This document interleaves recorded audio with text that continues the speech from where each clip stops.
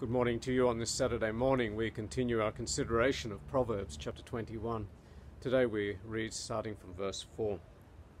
Haughty eyes and a proud heart. The lamp of the wicked is sin.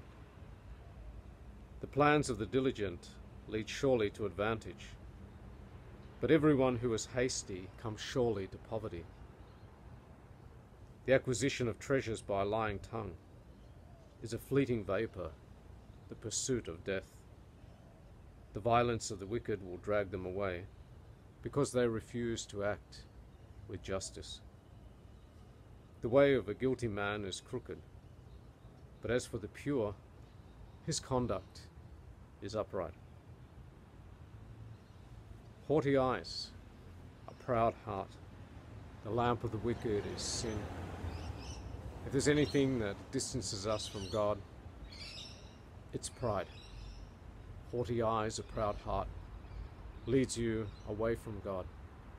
The one who exalts himself will be humbled, but he who humbles himself will be exalted.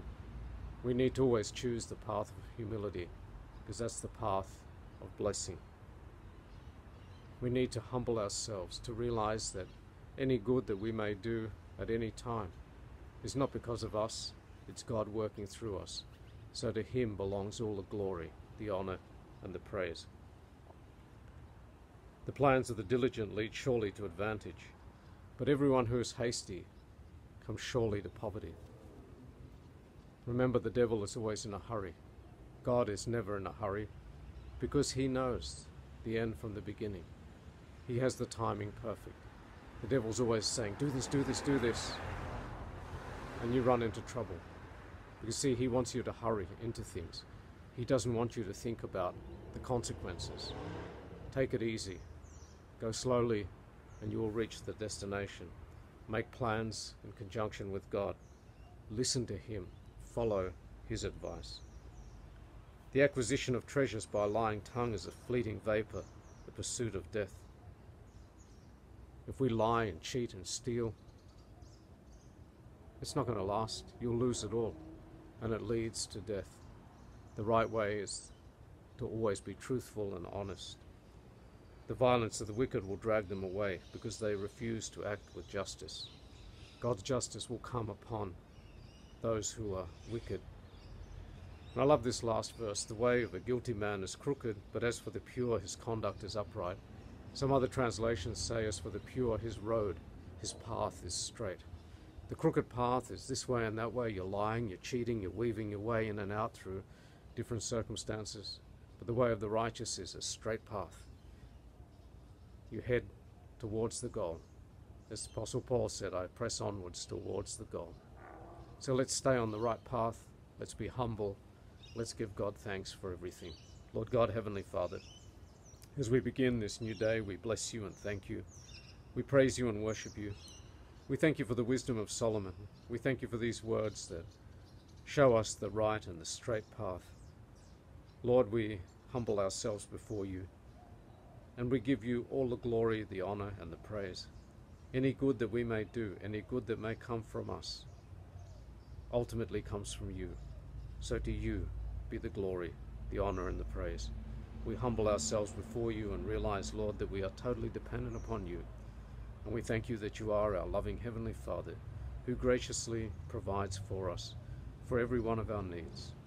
The greatest need was the need for forgiveness of sin and salvation, and you provided that for us through Jesus. So we thank you, Lord Jesus. We bless you and praise you. We thank you also for the gift of the Holy Spirit who leads and guides us, who speaks through your word who keeps us on the straight path. Lord, help us today. We pray for the sick. There are many around us who are ill. We pray that you would place your healing hand upon them. We pray for those who are sick in spirit, for those who are down, for those who have no hope, who see no future. Lord, have mercy. We pray for the souls that do not know you yet. Lord, that they would taste and see that you are good. We pray for our leaders. We pray, Lord, that you would give them wisdom and help them to make right decisions. As we are coming out of lockdown here in Sydney, Lord, we pray that you would just continue to help us to fight this virus and to get things back on even keel again. We thank you, Lord, for the lessons that we have learnt in this time, and we pray that you would help us as we go forward. We commit all to you, knowing that you are above all things and nothing happens to us outside of your knowledge, and that all things work together for good to those who love you, who are called according to your purposes. Lord, we bless you, and we pray now that you would hear as we join together in praying, Our Father, who art in heaven, hallowed be your name. Your kingdom come, your will be done on earth as it is in heaven. Give us this day our daily bread. Forgive us our trespasses, as we forgive those who trespass against us. Lead us not into temptation, but deliver us from evil. For yours is the kingdom, the power, and the glory, now and forever. Amen. So, my friends, have a blessed day. God be with you. God willing, I'll see you for tomorrow's service here on YouTube.